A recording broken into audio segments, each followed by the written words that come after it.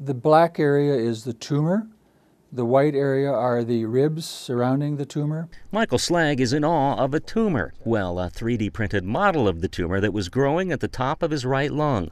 A Mayo Clinic surgeon removed it in a minimally invasive operation, and just three days later, he's going home. Well, it's unbelievable. In fact, I was walking the first night after surgery. Unbelievable because of how this 3D model spared him from what surely would have been a much more invasive operation with a far longer and more painful recovery. But I'm sure if my chest would have been split open, I probably would have been in an ICU and uh, probably a whole lot different experience. This tumor, it's sitting right by the brachial plexus. The growth was a type of lung cancer called a Pancoast tumor, so rare that Mayo Clinic has only seen 60 cases in the past 20 years. We frequently may have a plastic surgeon, an orthopedic surgeon, a vascular surgeon, and myself all involved in a Pancoast tumor resection.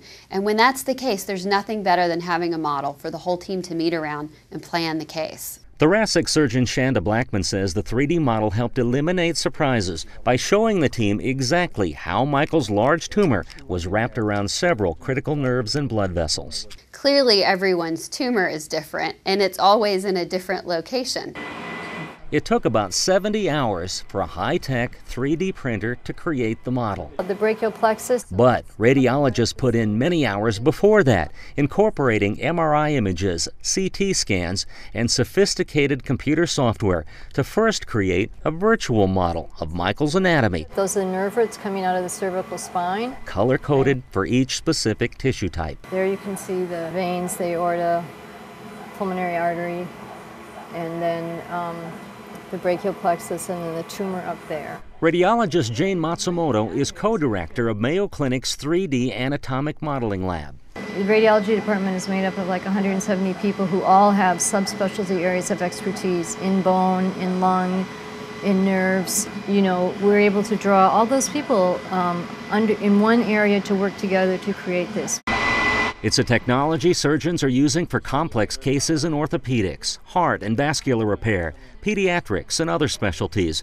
It helped Dr. Blackmon decide Michael's lung tumor could be removed laparoscopically without opening his chest. So the surgery that we performed was basically putting a camera in the side of the chest through a small hole that was created.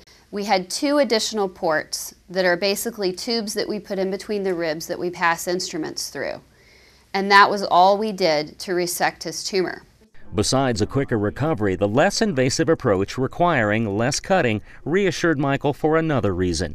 You see, he is also Dr. Slag, an endocrinologist who performs some delicate medical procedures of his own. This lighter gray area is the brachial plexus, a complex set of nerves that run the arm. Knowing that I was more likely to come out with a hand that worked compared to, you know, an arm that wasn't going to do very much was um, just a big load off my mind. For the Mayo Clinic News Network, I'm Dennis Douda.